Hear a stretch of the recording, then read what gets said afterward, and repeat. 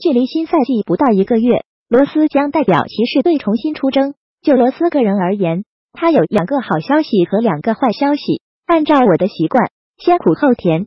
头号坏消息是，罗斯仅与骑士队签下了一年二百一十一万美元的老将底薪合同，较前一年薪资缩水十倍。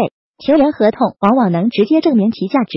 罗斯显然现在对于各支球队来说并不值钱，当然实际数据和能力绝至于低至二百一十一万美元。但好消息是，来到骑士后和詹姆斯并肩作战，他将拥有职业生涯以来最佳的触碰奥布莱恩杯的机会。毕竟，获得总冠军对于职业球员来说永远是终极目标。坏消息是，有小托马斯在骑士阵中，罗斯习惯的首发席位极有可能易主。要知道，在罗斯之前参加的四百七十场 NBA 赛事中，仅在新秀赛季有一场未能首发，没什么好抱怨的，纯粹是现他阶段能力比不上了。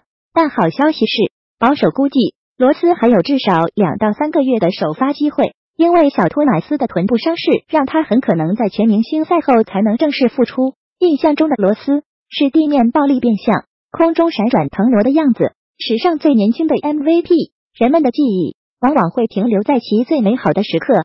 多次重伤之后，罗斯的打法收敛了，岁数也长了，上限基本碰到天花板了。首先。别再拿 MVP 赛季的罗斯作为标准去比较，这不公平。现在的罗斯是经历了三次重伤、一次膝盖交叉韧带撕裂加两次半月板撕裂的罗斯，他能健康的待在地球最高水平的篮球联赛，已经是一种胜利了。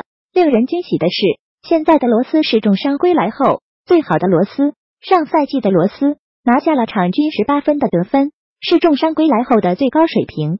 而百分之四十七点一的命中率更是比 MVP 赛季都高，百分之五十三的真实命中率是伤后归来的他首次达到五成，二点三次失误也是职业生涯的最低值。他在变得越来越像一位控卫，相对健康的罗斯正在逐步找回熟悉的比赛方式。他每场博得的四次罚球机会是伤后最高，百分之二十五点九的投篮罚球比率也是仅次于 MVP 赛季。他敢于在内线造杀伤了。这意味着他每出手四次就能得到一次走上罚球线的机会，百分之八十七点四的罚球命中率更是他职业生涯以来的新高。他在努力变得更加高效，每场不到一次的三分球出手尝试零点九次，创下了除了前两个新秀赛季的最低值。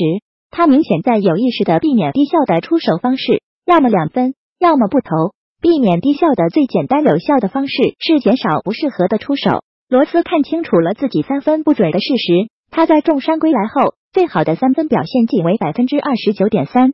他在场上的选择更聪明了。防守效率而言，罗斯还是一如既往的稀烂。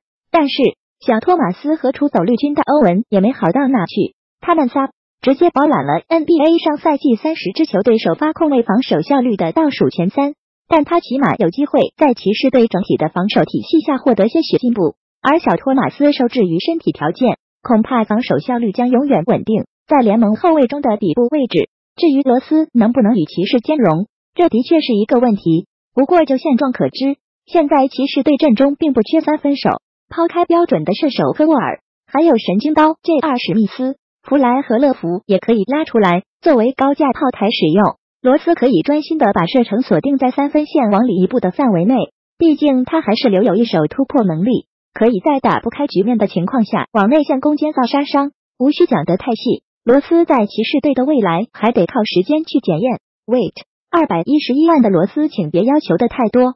重伤灭坛的罗斯，请别要求的太多。很可能不再是首发球员的罗斯，请别要求的太多。就像他想表达的那样，他来骑士是冲着詹姆斯，是为了总冠军。只要他能保持上赛季的高效率，保持每场二十五到三十分钟的上场时间。